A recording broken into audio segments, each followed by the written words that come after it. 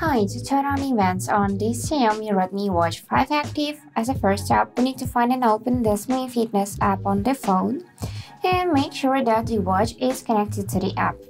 Now, after that, in this device tab, scroll till you see the apps, go in here and select task reminders. So firstly, go in add task and tap to describe your task. For example, let's just enter go to the gym like that. And now we can enable it as a reminder.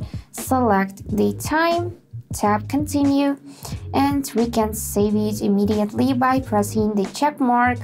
And also we can tap it again and select repeat. One time event daily, weekly or custom. And then just press the check mark to save the changes. So now we just need to wait a minute and I'm gonna show you how this will look on your watch. And that's it how it looks. So you can dismiss it or snooze and here you can see description of the reminder and the time.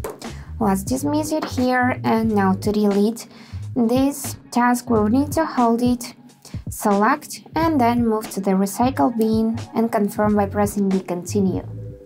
And that's it for today. Hope this video was helpful and thank you for watching.